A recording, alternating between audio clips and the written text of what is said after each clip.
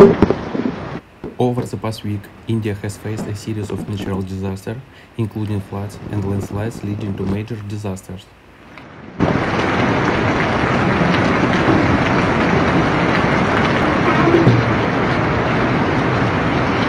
The state of Assam, West Bengal, and Bihar are most affected by the effects of natural disasters shaking the regions.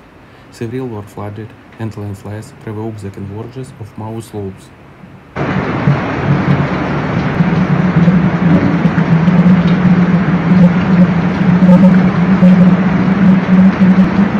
Hundreds of cars of people were used to evacuate houses due to flooding.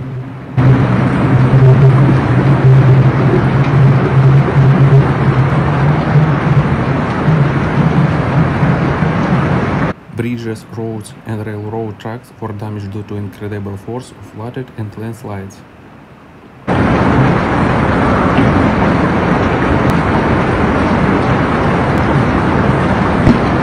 The government has mobilized large-scale measures to help those in need, providing funds for temporary accommodation and food.